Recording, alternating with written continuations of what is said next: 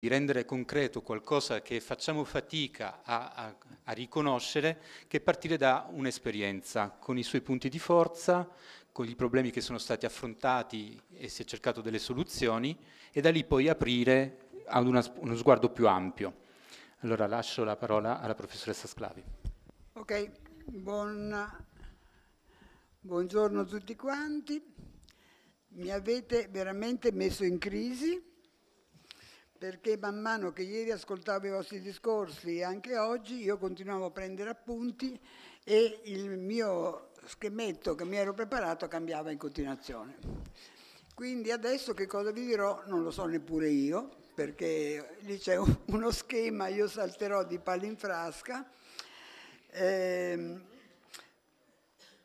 mi piace essere una pentola in, ebollizione, speriamo che, eh, di trasmettervi l'energia necessaria per parlare di democrazia deliberativa, che è fondamentale. Intanto incomincio subito, ma intanto qua abbiamo il titolo, voi avete messo verso Trieste, io ho messo verso Nantes. Nantes, io adesso sto facendo uno studio di più di un anno in questa città sulla Loira, la città, la Nantes, Nantes si dice Nantes, sulla Loira, sull'Oceano Atlantico, eh, probabilmente la ricerca durerà due anni, ma sto scrivendo capitoli e pezzi che intanto pubblico, eh, perché Nantes è una città nella quale la democrazia deliberativa dall'89 in poi, continuamente in evoluzione, perché poi è un, un modello che deve continuamente imparare dagli errori, eccetera, cosa che fa, è molto avanzato, è uno dei più avanzati in Europa, forse nel mondo da certi punti di vista. Ed è il motivo per cui io, occupandomi di gestione dei conflitti, ascoltativo, mm, democrazia partecipativa, sono lì a studiarlo perché amo imparare dalle buone pratiche, perché in realtà stando lì io imparo in continuazione delle cose che non, altrimenti non mi sarebbero mai venute in mente. Mm. Come disse un famoso eh, antropologo, ascolto risposte a domande che non mi sarebbero mai venute in mente. No? Cioè, vedendo quelle cose dico, ah, vabbè. Allora, io incomincio proprio su vostra provocazione, perché io mi sono sentita qui degli esempi di gestione dei conflitti che partono dai problemi della circoncisione o no, no? Cioè, quelli che c'erano qui ieri lo sanno, il dialogo fra Mosè e suo suocero, allora adesso vi devo, siete, ne devo proporre un'altra storiella, che secondo me è un pochino più puntuale sopra il tipo di dinamica che è alla base di una democrazia partecipativa vera che è deliberativa. Allora la storiella è questa, essendo questo un, un coso religioso mi è venuta in mente apposta. C'è un povero contadino nei Caraibi, molto povero, ma molto pio, che tutte le mattine all'alba si alza e prega a Dio che gli dia la serenità di affrontare i travagli della vita quotidiana. E una mattina sente la voce di Dio che dice per, per premiare la tua fede, io, eh, dimmi cosa vuoi e io te lo concedo contadino sconvolto per sentire la voce di Dio, poi dice, padre io non, non ho nessuna idea, no?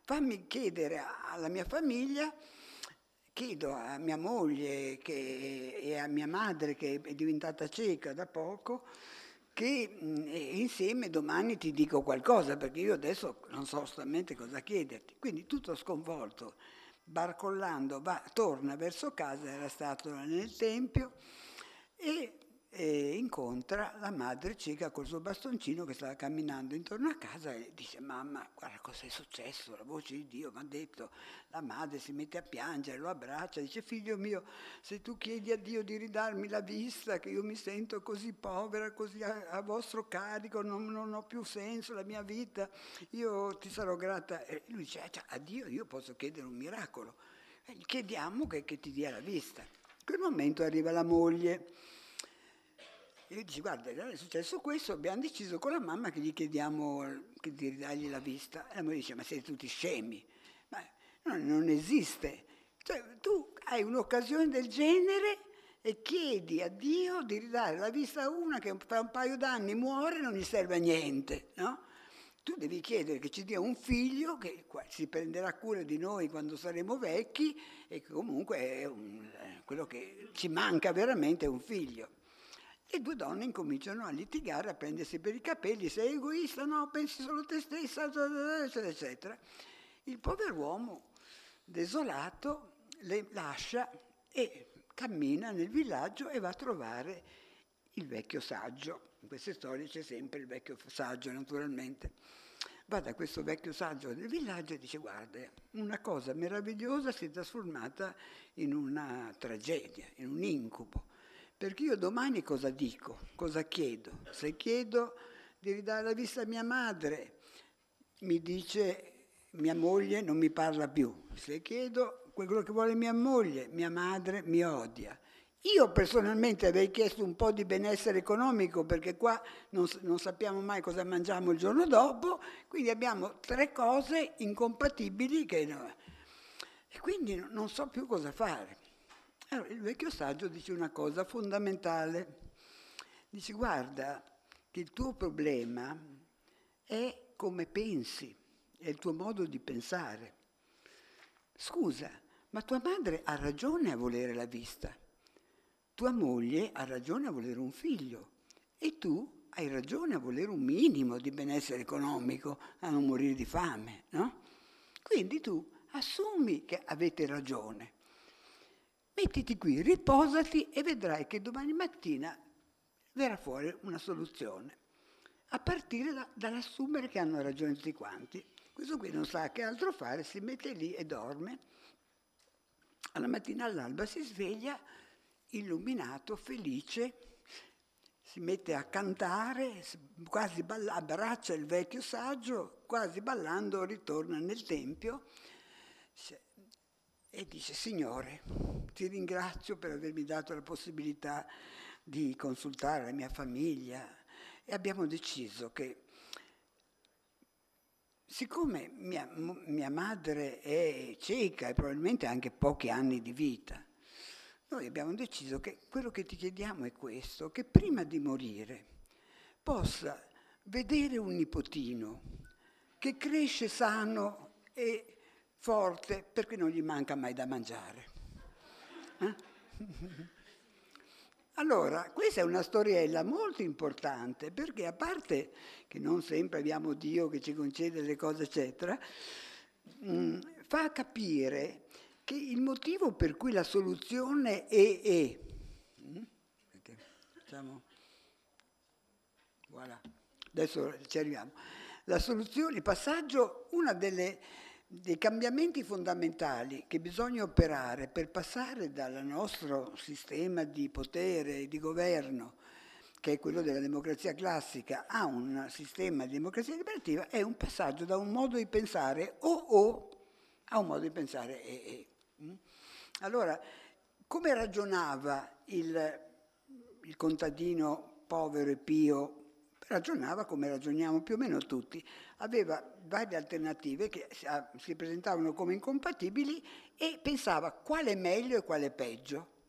Allora, se è meglio che io chieda la, per mia madre, no? Dopo, allora è meglio quella, no? E così via. E quindi era bloccato lì e, e lì non c'era una vera soluzione in effetti, no? Perché qualsiasi cosa avesse deciso, anche valutando tutti i pro e contro di ognuno, cioè prendeva le tre scelte separatamente, su ognuna valutava i pro e i contro, a quel punto comunque la soluzione era sempre fallimentare, cioè era sempre deludente. Non si poneva, perché assumeva che fosse impossibile, la possibilità di, di ampliare le opzioni e dire e, e, no? che è quello che il vecchio saggio gli suggerisce di fare. Allora, qui abbiamo una, una slide che è diventata bianca nel frattempo, non ho capito bene perché, un, che è un po' la base del discorso che io vi faccio, che è di questo sociologo tedesco, si chiama Ulrich Beck, no? che dice tutti i principali problemi del nostro tempo sono connessi al fatto che il nostro corpo è nel ventunesimo secolo, dentro questa società che è diventata molto più interrelata e complessa, mentre il nostro modo di pensare e le nostre istituzioni sono rimaste al diciannovesimo. Questa è la prima cosa che dice ed è assolutamente così. Quindi noi abbiamo un problema di capire bene come funziona il mondo del XIX secolo e che cosa va cambiato per portarlo al XXI, che vuol dire a una...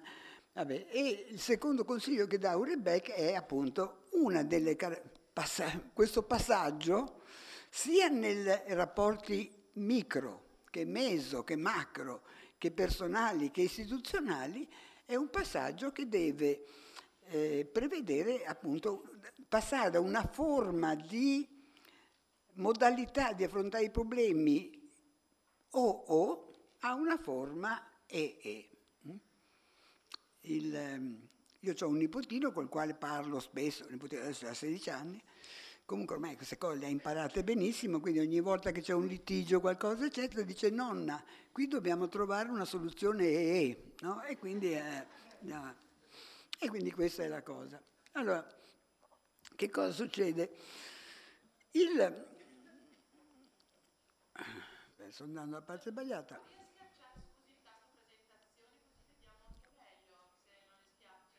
Eh, non sono capace. Se facciamo presentazione non si vedono più le slide laterali. Ah. Beh, facciamo presentazione. Sclavi chiedeva di vedere le slide laterali per lei. No, no, va bene, va bene lo stesso. Aspetta, eh. Vediamo se riesco. Però come si fa a fare la presentazione? Forse da lì, eh. Va bene così o no? Sì, questo è solo uno, quello, e io vedo l'altra, va bene. No, no, tanto non le seguo lo stesso, quindi non è un grande problema. Allora, Nantes, Nantes ehm, a Nantes dagli anni Ottanta, cioè io poi sto scrivendo un libro, quindi vi, riassu- vi dico le cose essenziali, dagli anni, metà anni 70, inizio metà anni 80, in, in, attraverso una serie di crisi, di, di fallimenti della sinistra, eh, emergono, emerge l'idea che questi fallimenti sono dovuti alla incapacità totale di ascolto delle istituzioni politiche, de, in questo caso del, dei quartieri popolari c'era stata un'elezione nel 1993 che loro, i socialisti assumevano che avrebbero vinto con grande facilità e invece hanno preso una sconfitta che non si aspettavano e questa sconfitta è legata al fatto che i quartieri popolari o si sono astenuti o hanno votato a destra. E questo è uno shock enorme perché per loro era, era sicurissimo. Quello shock enorme è stato utile perché hanno detto qua c'è qualcosa in noi che non va, no, nella gente.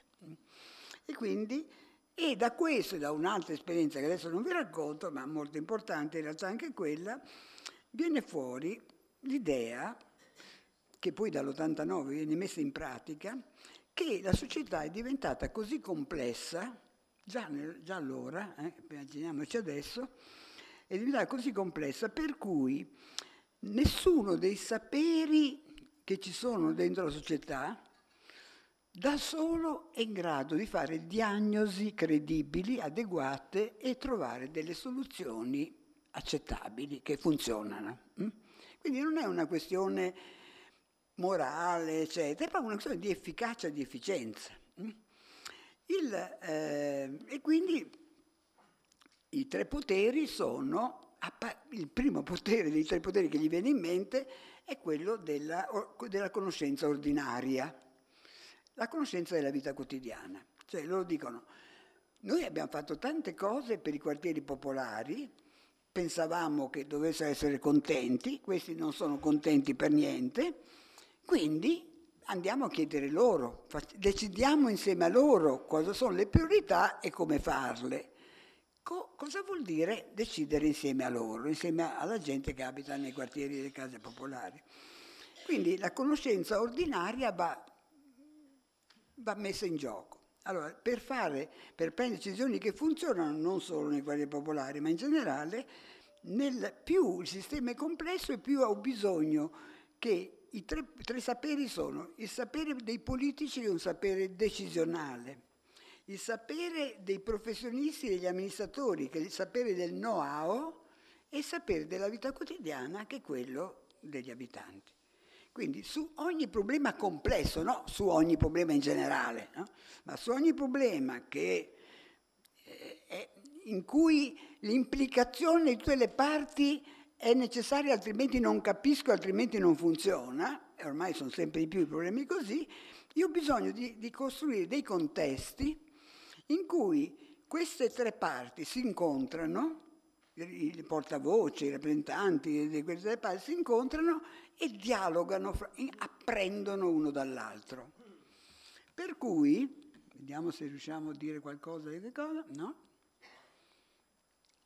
Sapere dizionale, know-how. I tre saperi in dialogo sono completamente diversi dai tre saperi separati. Questa, allora, per fare dialogare fra di loro i tre saperi, che sono indispensabili per capire di cosa stiamo parlando, hm, e poi trovare dei progetti di comune gradimento, ognuno dei tre saperi deve fare un salto da una modalità normale, che è quella dell'ascolto giudicante, a un'altra modalità meno normale, esiste, eh, ma non, a, non adoperata in modo sistematico, che è l'ascolto attivo. Mm? Questo vuol dire capire cosa vuol dire, che in che modo io sono un politico diverso, co- come cambia il senso della rappresentanza politica, il senso della missione politica, se io passo dall'ascolto giudicante all'ascolto ascolto, um, attivo, come cambia un professionista da esclusivo diventa inclusivo, capace di ascolto, che non, assume che la propria competenza si deve misurare con l'esperienza del, concreta della gente, no? e, e, e, lo stesso per il sapere della vita quotidiana. Il sapere della vita quotidiana non è chiamo la gente adesso parlate e discutete, quando avete discusso vediamo che cosa pensate. No, cosa pensano senza una metodologia di ascolto attivo litigheranno, si divideranno in fazioni, schieramenti, come, come è normale nel, nel, in una realtà di saperi separati. Mm? Quindi, vediamo, io devo decidere. Allora, per riuscire a far funzionare una democrazia eh, efficace in una società complessa, io ho bisogno di una cassetta degli attrezzi, voi avete bisogno di una cassetta degli attrezzi, abbiamo bisogno di una cassetta degli attrezzi che ci aiuta. Abbiamo detto che bisogna cambiare le modalità di pensiero dal XIX al XXI secolo. Eh? Una modalità è passare dall'ascolto giudicante, che poi adesso vediamo come funziona, all'ascolto attivo, e quella è la base. Eh? Però collegato a questo c'è il passaggio dalla centralità delle opinioni alla centralità delle esperienze. E anche su questo ci veniamo subito.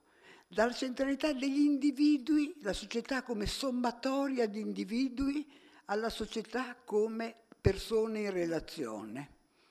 Quindi la, la priorità della relazione rispetto alla sommatoria di singoli, ognuno un per conto suo.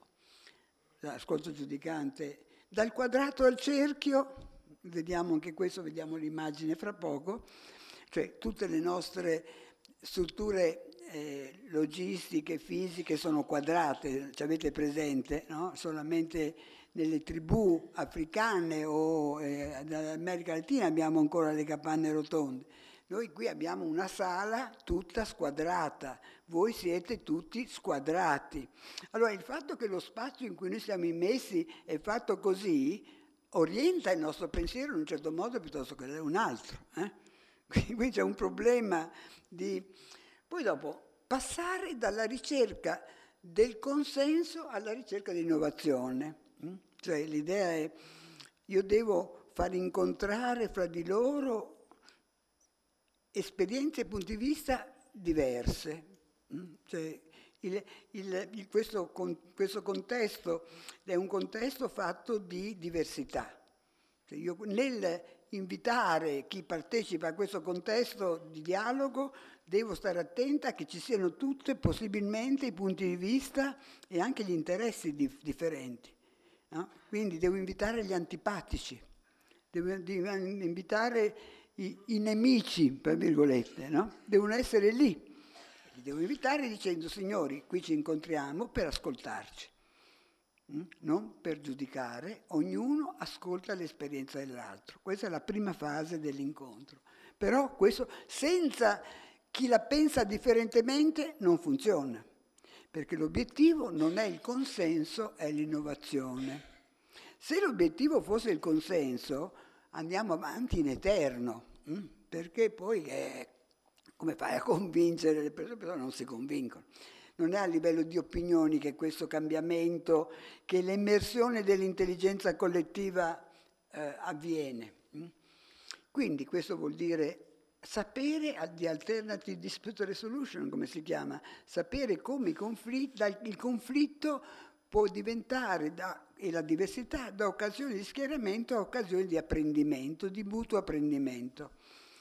Sono, anche qui sono delle dinamiche che si studiano, cioè che non è una roba teorica, è nella pratica vedere. E infine, passare da, da una modalità di pensiero in cui siamo totalmente immersi, vittime, che è soporifera, a una modalità di pensiero che ci permette di imparare dalle buone pratiche, perché altrimenti noi andiamo a vedere buone pratiche e non impariamo un accidente, che è quello degli incidenti critici. Quindi, ah, questa è la cassetta degli attrezzi, quella che vi ho detto prima, che sono i salti nei modi di pensare.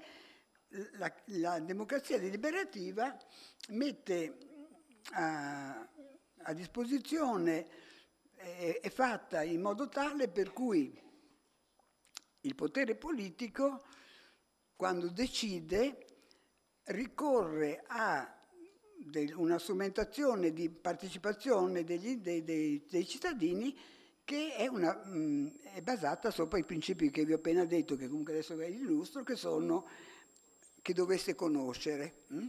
Sono l'open space technology, è assolutamente fondamentale. Quindi cercatevelo se non, se non, avete, non lo conoscete, andate, cioè, le esperienze ormai sono infinite in tutto il mondo, ma l'open space technology è una modalità di incontro in cui rispetto a un obiettivo, e io ne ho fatti molti anche in Italia e non solo in Italia, rispetto a un obiettivo, cosa ce ne facciamo di questo stabilimento abbandonato, come risaniamo questo quartiere, quello che volete, Rispetto a questo obiettivo voi chiamate tutte le persone che sono implicate a titolo diverso, in, interessate a questo problema e chiedete di fare delle proposte, delle proposte positive.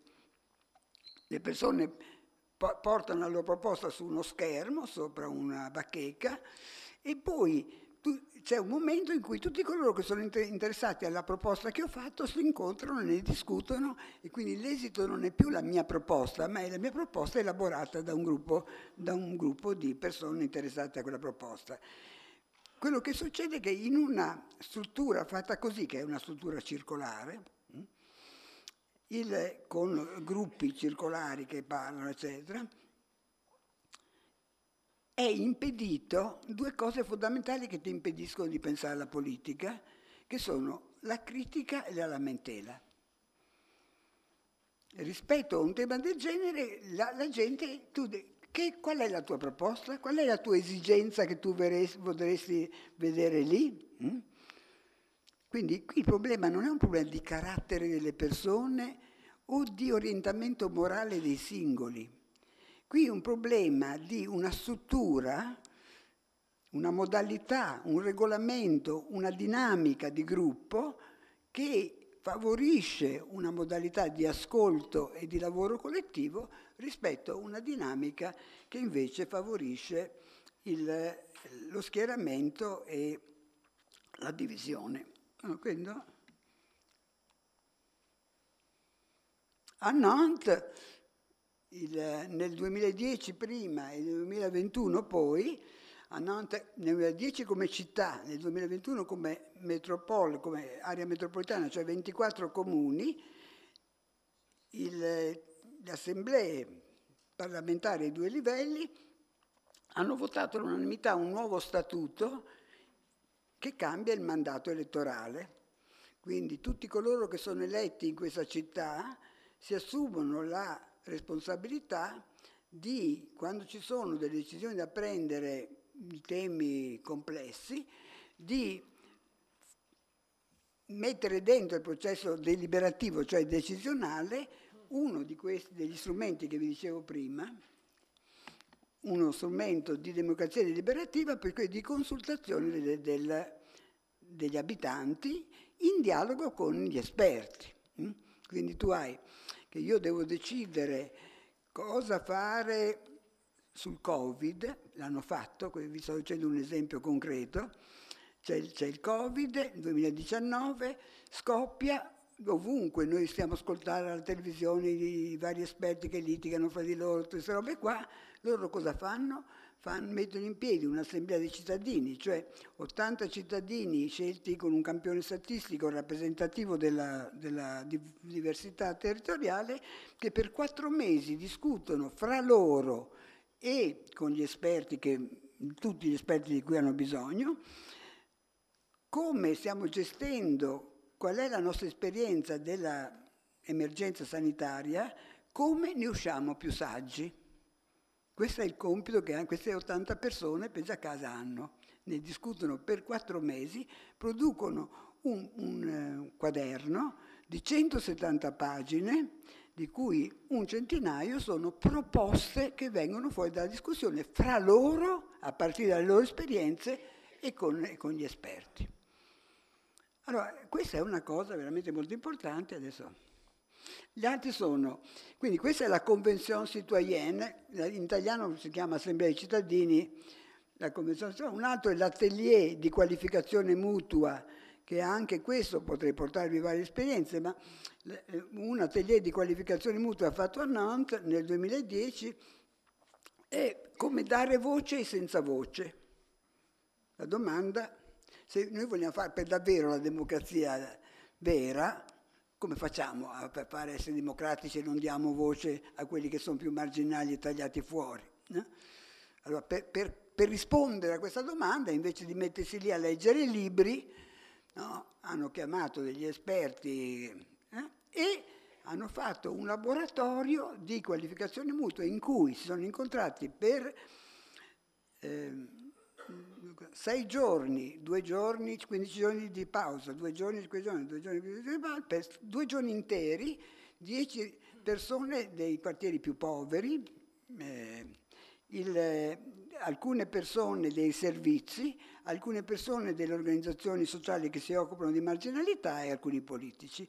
Per intere giornate, due intere giornate, hanno ascoltato le reciproche esperienze sopra la mia voce è sentita quando è sentita, non è sentita perché, eccetera, io ti sto ascoltando perché... Ognuno ha detto la propria esperienza personale su questo, l'hanno anche messa in scena, cioè le scenette più interessanti le recitavano con un sistema da Boal eh, del, del, e, il, e poi hanno prodotto una serie di eh, raccomandazioni su come fare una democrazia capace di ascolto dei senza voce. Raccomandazioni che non sarebbero, 25 raccomandazioni in realtà, che non sarebbero mai uscite senza questa metodologia. Mm?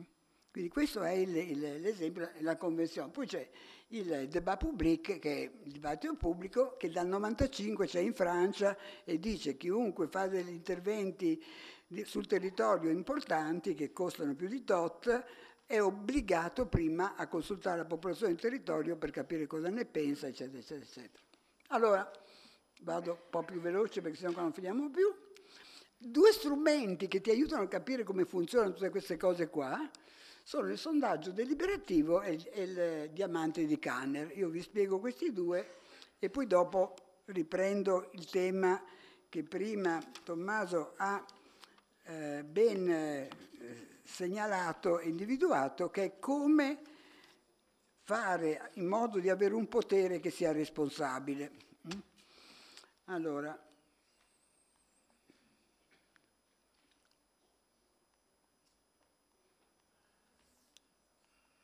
Ah, ma io sbaglio sempre? Voilà, è questo. Allora, ho detto il sondaggio deliberativo e il diamante di Kanner. Sondaggio deliberativo.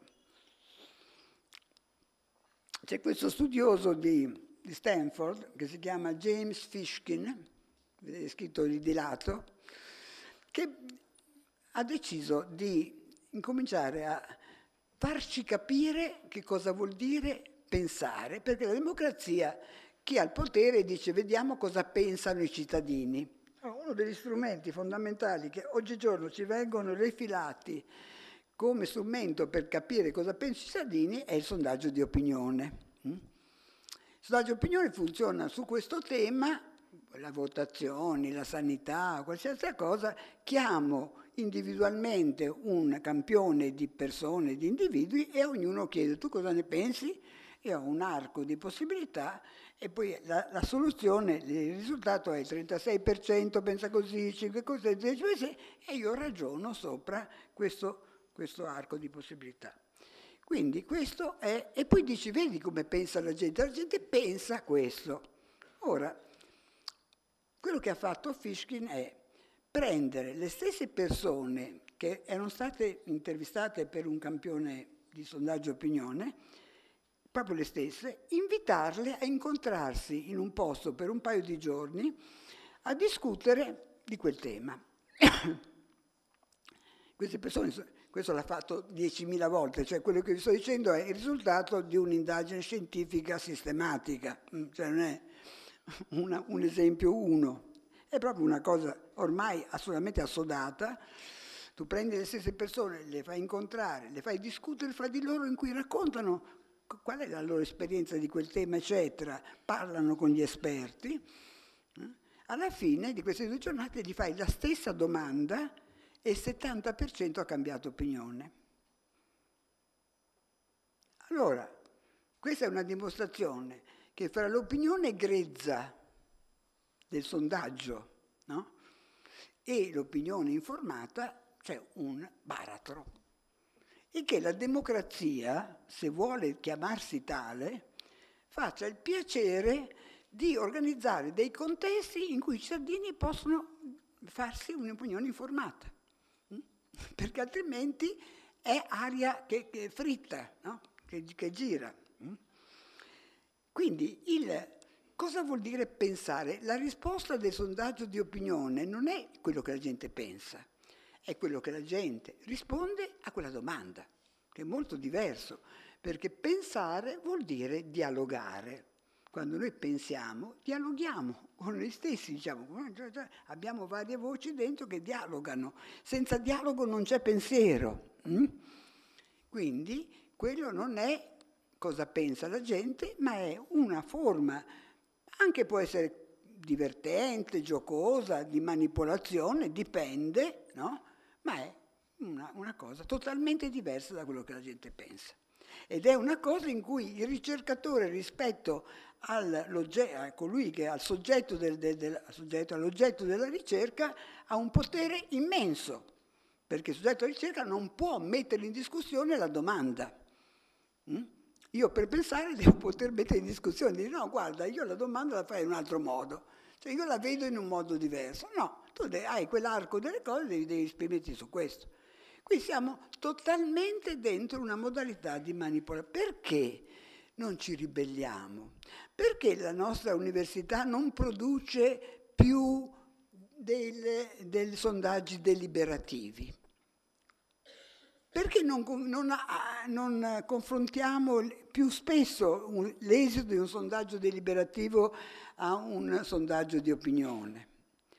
Uno dei motivi è che noi siamo totalmente abituati a, perché alla base del sondaggio eh, di, di opinione c'è l'idea di una società fatta da una sommatoria di individui come isole. Ognuno di noi è un'isola e ognuno di noi ha dei pensieri, ha delle emozioni, ma sono cazzi suoi, no? sono cose sue. Non è che tu riesci non sono l'esito del, dell'essere una persona parte di una, di una serie di, di relazioni, no? invece lo sono. Quindi qui abbiamo una visione totalmente distorta di come funziona l'autorità, il potere, il, la comunicazione e noi ne siamo assolutamente vittime finché non ci ribelliamo a questo e, non mettiamo in pratica una cosa diversa. Una delle mm, dimostrazioni di questo è il fatto che la nostra democrazia è basata sopra quello, il, il disegnino che c'è sotto, no? assemblea del XIX secolo, eccetera. Il, quando noi, le nostre assemblee delibera- decisionali sono tipicamente le assemblee in cui c'è una, un porta, una chairperson, un ordine del giorno, le persone sono sedute come voi, più o, meno, più o meno disposte come voi, stiamo discutendo una cosa, io vi chiedo, uno, uno parla, un altro chiede la parola, qui hai il diritto di, di parola, il diritto di contraddittorio e il voto.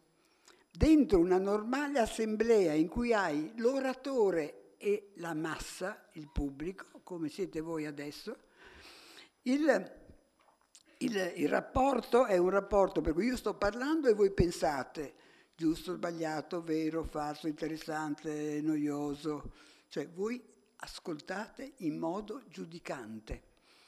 Siete obbligati ad ascoltare in modo giudicante dalla, dal layout di questa sala e dal fatto che io sto parlando e voi siete messi tutti individualmente lì ad ascoltarmi, non siete riuniti in, in gruppi che possono poi discutere e parlare fra di loro. No? Quindi il nostro sistema politico, il nostro senso della rappresentanza, il nostro senso della democrazia è basato sopra dando per scontato che noi siamo una massa di individui hm? Con dei leader. Quindi qualcuno di voi vuole parlare adesso, deve alzare la mano e deve proporsi come leader, altrimenti non parla.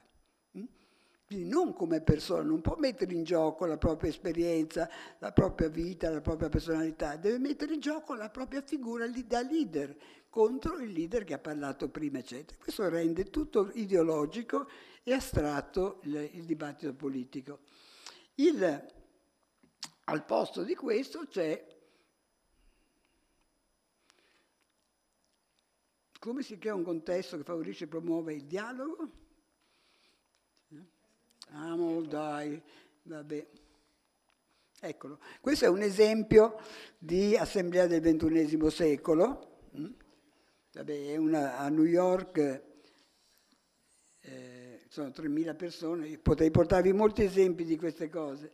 Comunque è fatto di tavoli, ognuno dei quali cerca di essere più di, di una presenza differenziata possibile e c'è un tema, c'è una provocazione, un intervento iniziale di provocazione, ci sono i tavoli che discutono quello e nel tavolo tu parli come persona. Io divento Marianella che ha una certa esperienza di vita e dice cosa pensa, quali sono le proprie reazioni rispetto quello, ascolta tutti gli altri, alla fine portiamo un esito della nostra discussione alla plenaria e così via. Questa si chiama assemblea gruppale ed è il modo con cui puoi incominciare a far interagire la gente nel XXI secolo. Allora, arriviamo, quello lì era il ragionamento sopra il sondaggio, il passaggio dal sondaggio di opinione al sondaggio deliberativo. Il sondaggio deliberativo è veramente molto importante perché sulla base del fatto che il, quando la gente il campione, del, del, il campione statistico del sondaggio di opinione era comunque un campione statistico, quindi era già una, una scelta di persone stratificato che rappresentava giovani, vecchi, donne, uomini ai vari livelli di preparazione, quindi aveva la diversità. Questa diversità trasportata dentro un contesto eh, deliberativo, di, di sondaggio deliberativo, quindi in cui ci si parla fra persone e si impara fra di noi e con le cose eccetera, porta delle, ad una diagnosi e ad una eh, capacità di coprogettazione molto più efficace. Allora, sulla base di questo, una delle cose che mi hanno interessato e poi mi hanno portato avanti è stato il fatto che Macron nel 2019 ha, ha, ha convocato la Convenzione citoyenne sulle climat, cioè 150 cittadini, come ci è arrivato eh, sarebbe lunga, comunque a furia di sbagliare poi ha fatto anche questo, e 150 cittadini hanno lavorato per nove mesi per decidere come si fa nel 2030 ad arrivare con una politica sul clima che accetta eh, i criteri stabiliti da, dalla Parigi del 2015. Il, ehm, e questa assemblea di gente presa, c'era la, la, badante, la ragazza di 16 anni, il professore, cioè, a nord, a sud, cioè presa in giro per tutta la Francia, eccetera, ha lavorato per nove mesi, ha, pro, ha prodotto una delle, mh, delle proposte su come gestire il cambiamento climatico estremamente avanzate. Quindi è molto strano questo, no? Cioè come ah, c'è una ragazzina di 16 anni, perché erano sei minorenni, che è stata intervistata da The Guardian e ha detto, che gli chiedeva, che ha seguito molto questa cosa, gli ha chiesto cosa ha imparato e lei ha detto, ma io ho capito tre cose. Intanto ho, cap- ho capito delle cose sul clima di cui non sapevo niente, perché era sul clima. Secondo, ho imparato ad ascoltare. E terzo, ho capito che esiste l'intelligenza collettiva. Una ragazza di 16 anni che ha fatto un'esperienza del genere, che ti dà una risposta del genere, fa pensare, no? Forse è un'esperienza che va ripetuta, che va, che va affrontata. Allora io avendo seguito questa, che poi non è stata presa sul serio dal Parlamento francese, un altro maniche. Il, il, invece a sì, quindi il, a l'hanno fatta per il Covid e anche lì se voi vi leggete gli esiti, li, ve li guardate anche perché poi potete vedere sul video, perché sono estremamente avanzati da questo punto di vista, seguire proprio gli incontri, le facce, le domande e le risposte tra di loro e con gli esperti. È, è partecipi a, quella, a quell'incontro e vedi che anche lì sono venute fuori delle proposte estremamente sagge, sagge, hm? sagge. Allora, questo è il... Allora, adesso questo è sul Convenzione citoyenne e sul sondaggio e sondaggio liberativo, questa è l'ultima cosa che vi dico perché qua siamo fuori tempo. Il, il, ehm, questo diagramma, questo che vi faccio vedere, è una sintesi delle dinamiche che è necessario mettere in moto perché il sapere ordinario diventi saggezza, diciamola così per dirla in breve. Mm? Cioè il, il sapere ordinario da solo non è saggio per niente, quello know-how da solo non è saggio per niente, quello dei politici meno che meno. Nel loro dialogo fuori, viene fuori l'intelligenza collettiva. Però questo dialogo richiede una facilitazione, richiede un, un regolamento, un modo di organizzare i contesti e di farli sviluppare che è diverso da quello della nostra assemblea normale. Cioè nella nostra assemblea noi abbiamo, eh, la gente arriva, c'è l'ordine del giorno, discuti, contraddittorio, voto. Quello è un, un, modo di regolare come si arriva a una decisione. Da quel modo bisogna passare a un altro. E questo illustra bene la differenza. Mm? Perché cosa fa vedere questo schema? Io, adesso, io vorrei poterlo segnalare lì, però adesso allora, guardatevi i due triangoli iniziali uno contro l'altro. No? Allora, abbiamo un nuovo tema. Questo nuovo tema io chiedo alla gente riunita di dirmi cosa ne pensa, quali sono le loro opinioni. E qui ognuno interviene e dice per me bisogna fare questo, per me la diagnosi è questa, ta, ta, ta. ognuno interviene. E quindi abbiamo che si apre un arco di possibilità qui sono varie posizioni, interessi contrapposti, punti di vista, quello che è, proposte diverse. Appena noi arriviamo a questo, nella nostra cultura, nella nostra mentalità, ne abbiamo parlato anche i giorni scorsi, secondo me, il problema è come facciamo ad arrivare ad, un, ad, una, ad una soluzione. Quindi appena tu hai il problema, ti agiti, diventi nevrastenico e dici qua dobbiamo dobbiamo trovare la soluzione. E quindi tutti gli sforzi sono, facciamo un tavolo, c'è la tavolite acuta, no? cioè abbiamo, qual è la soluzione? Facciamo un tavolo, parliamo, parliamo, parliamo, finché finalmente, poi alla fine votiamo maggioranza e dobbiamo decidere, perché non possiamo sopportare questa diversità di, di posizioni che no, non porta a nulla, che viviamo come negativa. No? Quindi questo è il modo con cui noi gestiamo normalmente i problemi. Quindi la prima regola dell'arte ascoltare è non aver fretta di arrivare alle conclusioni. Le conclusioni sono la parte più effimera della ricerca. Invece noi siamo totalmente basati sopra questa ansia di arrivare alla risposta. No? Su problemi estremamente complessi arrivi a ridicole risposte. Eh, non faccio esempi, ce ne sono troppi. Allora, questo è il modo normale di funzionare. Rispetto a questo modo, l'intero diamante o diagramma di Kanner fa vedere come invece bisogna aiutare, facilitare, perché qui ci vuole un facilitatore, una facilitatrice, ci vuole... Che cosa fa la facilitatrice? Intanto va bene l'inizio, ognuno dice quello che... La propria chiede di, di parlare di esperienze e non di opinioni, già questa è una bella differenza.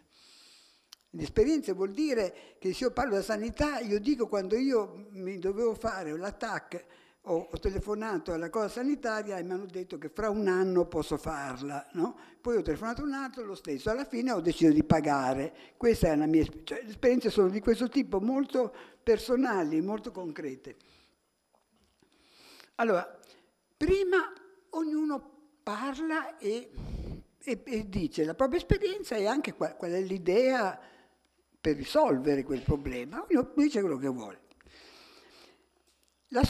il facilitatore dice adesso questa è una fase di ascoltativo, quindi noi ogni volta che una persona interviene e dice una cosa divergente da quella che è la nostra esperienza o la nostra idea, la nostra proposta, invece di, pensare, di, di eh, reagire in termini vero, falso, giusto, sbagliato, amico, nemico, eccetera, quindi in, in modo giudicante, intervengo con l'ascolto attivo. Quindi cosa vuol dire questo? L'ascolto attivo vuol dire che io tra- trasformo quello che era giudicante in una domanda e posso dire, ma a me sembrerebbe così, come che a te ti sembra così? Mm?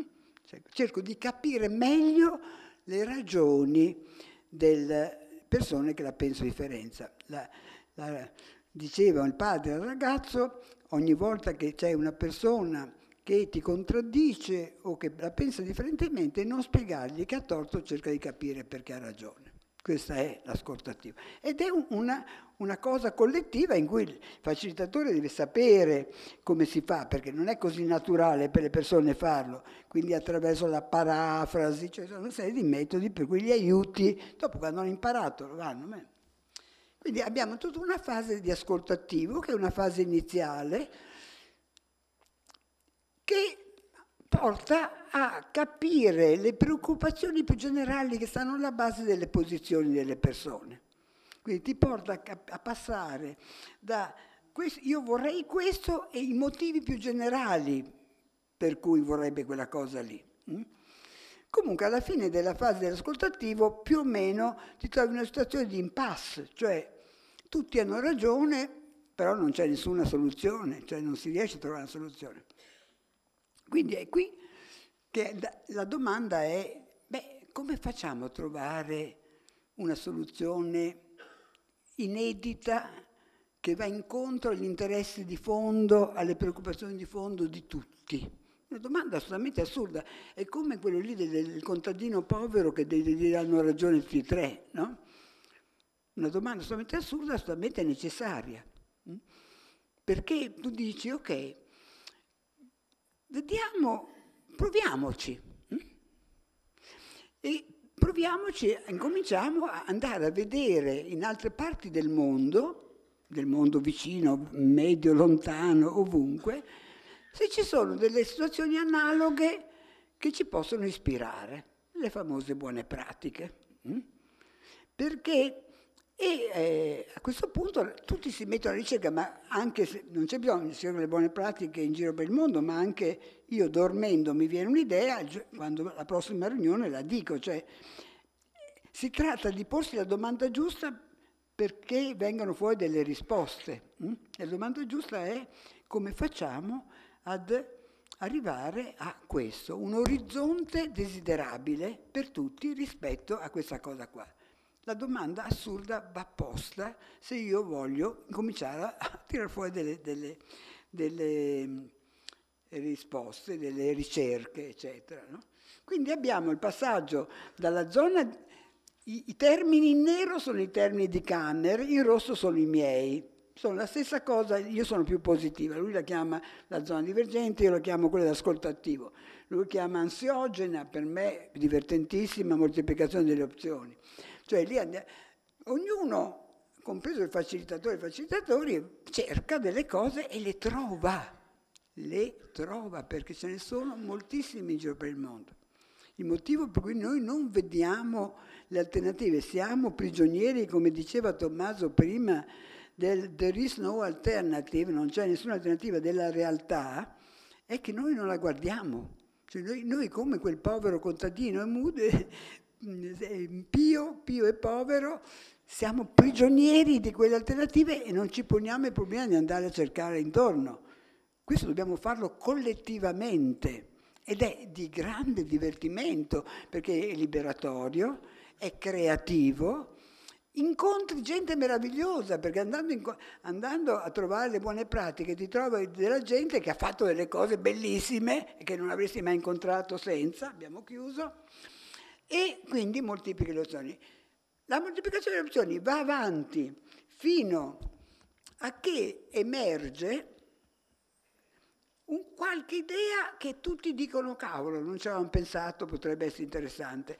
Intorno a quell'idea cavolo organizzi con un metodo sociocratico un gruppetto di persone, siccome vi si siete conosciuti durante questo processo, ognuno può dire secondo me del gruppetto di persone che fa il progetto a questo punto sulla base di queste robe qua ci dovrà essere Pinco Pallino, eccetera, perché mi fido di quella persona lì, la fiducia, che è nata attraverso questa esperienza.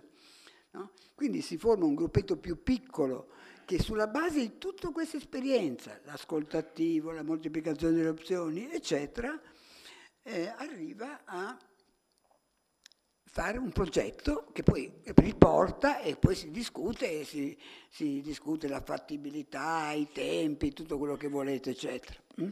Quindi questo è un, un processo che però va detto, cioè non è che si può fare senza dirlo, dovete, dovete dire, cari signori, in questa riunione noi adottiamo la, una metodologia dell'ascoltativo, quindi no, non, eh, non, è che non dovete pensare che è sbagliato, dovete usare il pensare che è sbagliato in un modo per capire invece che per, per bloccare sulla quella posizione le persone, insomma. No?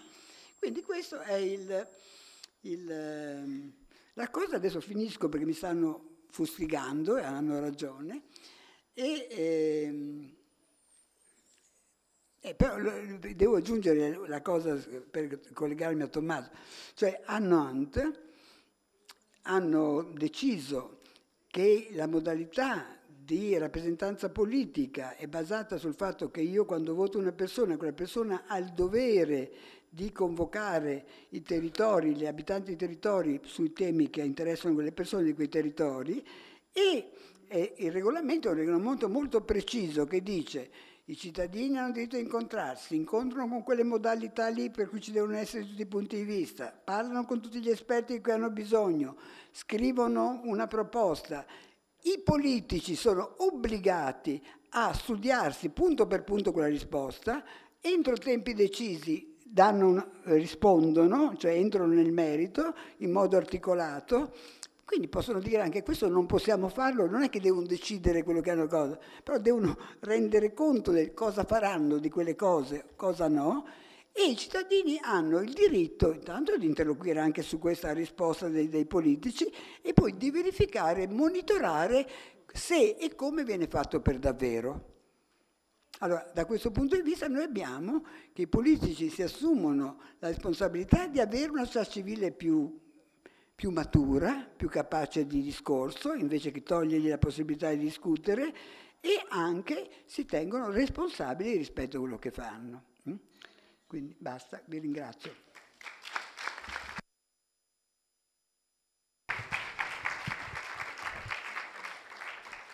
Grazie mille. Allora, tantissime cose interessanti. Una delle frasi che mi sono appuntato è senza dialogo non c'è pensiero. Allora, prima di dare la parola per le domande, visto che abbiamo ascoltato tanto, ci prendiamo un minuto per rileggerci le cose che ci siamo annotate, quelle che ci hanno colpito e anche forse per ascoltare di pancia, non solo di testa, ma anche di pancia, ciò che più ci ha colpito e dopo qualche minuto per parlarne con il vicino. Perciò ci diamo 3-4 minuti per fare prima questa rilettura personale, poi il confronto con gli altri e poi via le domande che a quel punto saranno frutto del dialogo. Bene, si parte.